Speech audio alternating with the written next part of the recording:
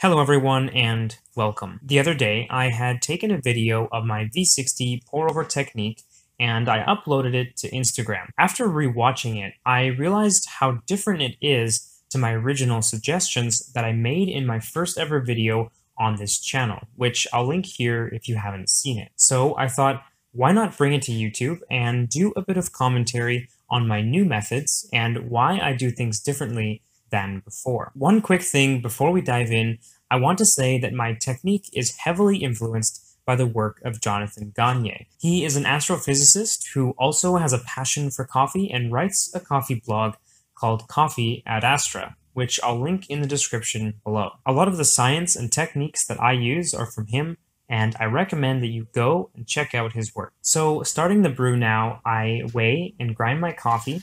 I'm using 22 grams in with about 374 grams of water added for a 1 to 17 brew ratio. Next, I grab my paper filter and fold it along the seam so that it fits properly in the dripper. I do zero it out here because I like to be consistent for every coffee I make, and even when rinsing the filter and preheating the system, I like to use the same amount of water each time which is about 100 grams. I dump the rinse water, of course, grab my ground coffee, and make sure you zero out the scale before you add the coffee. You'll see I actually lost 0.5 grams that might have been left behind in the grinder or stuck to the sides of the grounds container. It's not a big deal, you just adjust the amount of water you use slightly. Now we want to create a hole in the grounds, and I know this is often a debated issue, but if the goal in the next phase is to get all of the coffee wet as evenly and quickly as possible,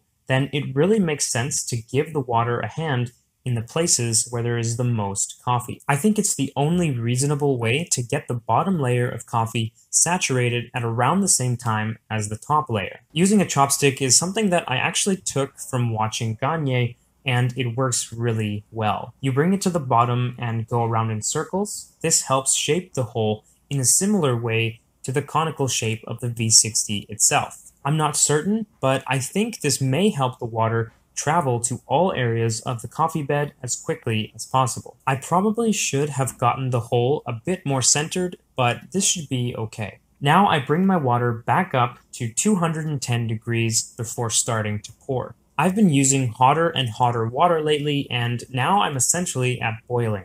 I find the higher temperature really helps extract the coffee nicely, especially as I only brew light roasts. We now want to add about two to three times the amount of water as you started with in ground coffee. For me, that's typically around 50 grams. Then I swirl the V60 for a few seconds because, as I said, we are trying to evenly saturate all the coffee as quickly as possible. The reason I don't use a spoon anymore is because from both Gagne and Scott Rao, people I really respect in the industry, it seems they have concerns about how a spoon may not be as effective. It might not reach far enough down, or you might be causing too much agitation and movement that can cause fines migration, which is where fine particles of coffee move toward the filter and can clog the pores, leading to long drawdown times and over extraction. So I think I'll be sticking to the swirl, and you'll notice I also do it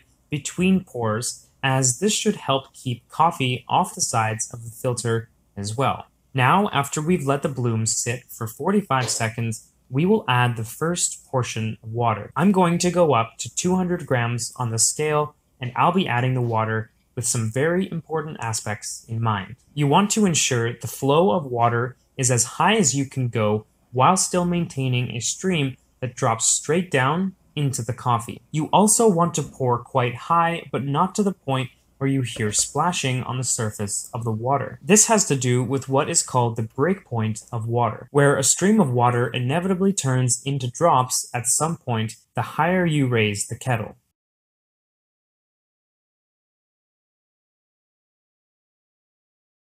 The splashing sound is the water droplets hitting the surface of the slurry. Your goal is to have the stream of water Enter the coffee slurry just before it turns into droplets. Gagne explains all of this in one of his blog posts and talks about how the water is agitated differently based on your pouring height, so I check that out if you want more details. Up to 200 grams now, I'll give the V60 a swirl, maybe not as long as the bloom phase, but enough to encourage the coffee to move down off the filter. We will let the water draw down until there is about an inch of water left above the coffee. I'll get my kettle back up to 210 degrees and we start pouring our next chunk of water all the way up to our goal of 374, which I should have actually done less because we started with 21.5, but that's fine. Letting the coffee drain between pours is also a very interesting subject, and without getting too much into the science, just know that the idea is to let the most concentrated liquid drain out so that when we add fresh, clean water, we are able to increase the rate of extraction and pull even more from our coffee. But you don't let it drain entirely because the temperature will drop significantly if the water goes below the coffee bed. Alright, so I've added all the water, actually got too full there and had to wait a second, gave it a final swirl, and now we wait for it to draw down. One thing I should mention is that I didn't do a great job of pouring. I should have focused more of the pouring time on the center, as this is where the most layers of coffee are and the agitation from the water falling into the coffee bed is most useful when it lands in the center. Another thing I tried, which you might have noticed, was to pour some water directly on the sides of the filter early on. And I was attempting to get rid of the coffee grounds stuck to the side. As you can see at the end, it didn't exactly work. I might try this again, but it might not be worth it, and I'm still not sure if it's the worst thing to have the finest particles of coffee left alone on the sides. At least it means they aren't clogging the filter or being overly extracted and affecting the flavor. So that's it, my new and improved techniques. But I want to hear from you guys. What do you do at home for your pour overs? Do you think you'll take something from this video and try it out? Let me know in the comments below, and if you haven't subscribed, please do, as I try to release weekly content. I will see you all again next week, and I hope you have a great day.